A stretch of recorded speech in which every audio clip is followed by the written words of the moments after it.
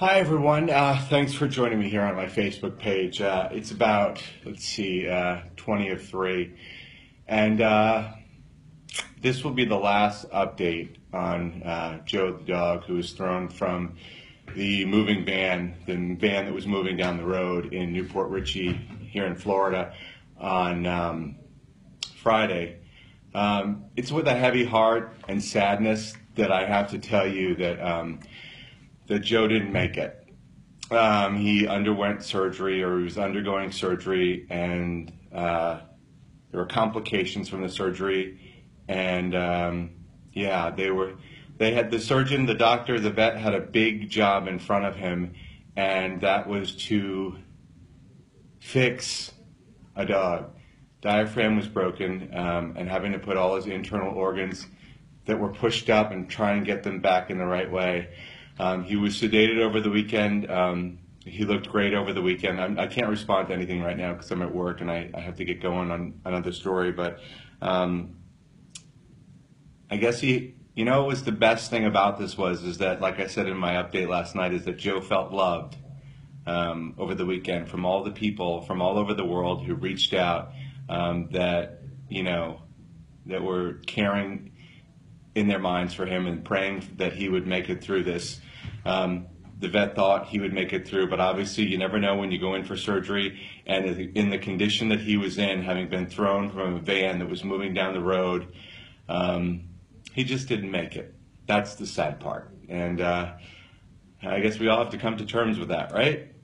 Right. So, okay, keep it together.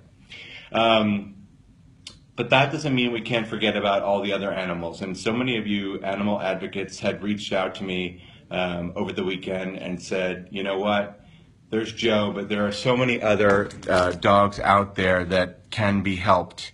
And no, Crystal, you know, if you go to the beginning of this, when you um, when I'm finished with it, Joe passed away during surgery. Um, so there are so many other animals out there that can be helped and that need to be helped on a daily basis, as been told to me by the, the um, countless number of animal animal activists who have reached out to me over the over the weekend.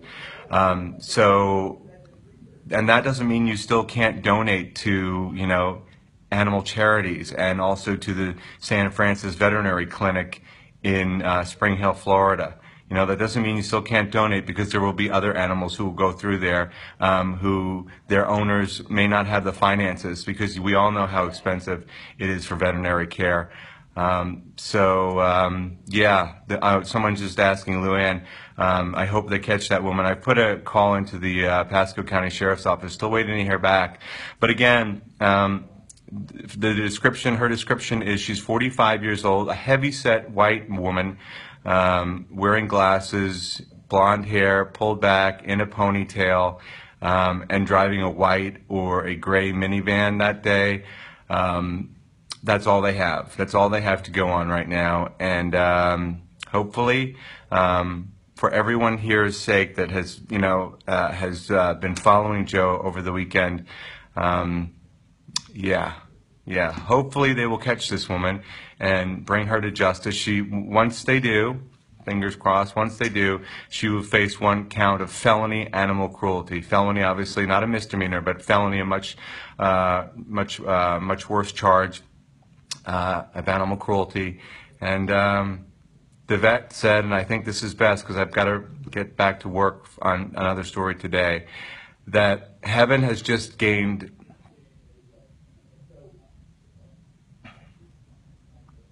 Heaven has just gained another um, angel. So he went over the Rainbow Bridge today, and as we always say, he's in a, someone that dog Joe is in a much better place, and uh, probably looking down on us now.